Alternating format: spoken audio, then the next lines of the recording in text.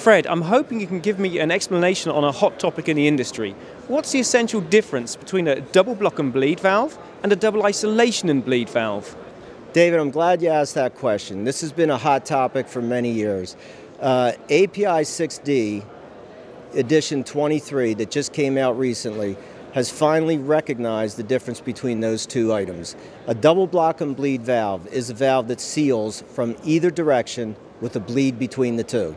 A double isolation and bleed is a valve that seals from one direction with two separate seals in a, in a bleed between the two.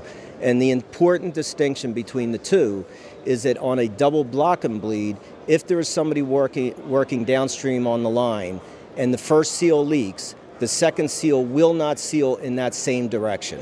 A double isolation and bleed has two seals, each of which seal in one direction, meaning somebody working downstream has the reliance that they can rely on the fact that the first seal is sealing.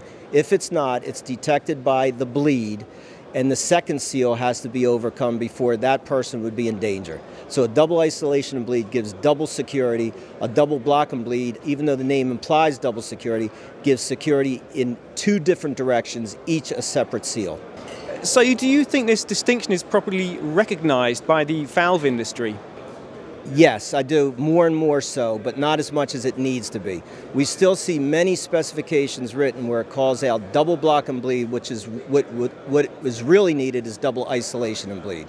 So even a lot of the engineering houses, uh, I'm not sure everyone is fully aware or abreast of the recent developments of API 6D calling out the distinction between the two types. So I'd like to see more of it, but it is becoming more and more uh, accepted.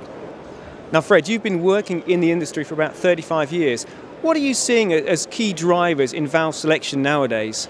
Yeah, that's a tough one, David. Price is always an issue.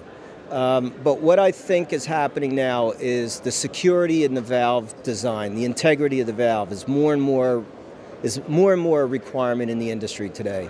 Um, we're seeing the requirement for really high integrity sealing.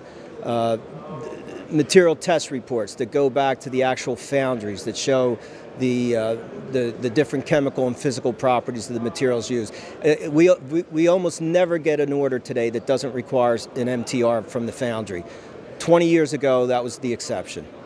So you're saying that safety is paramount? Definitely, absolutely, definitely. Um, price is still an important factor, but safety is the driving force today.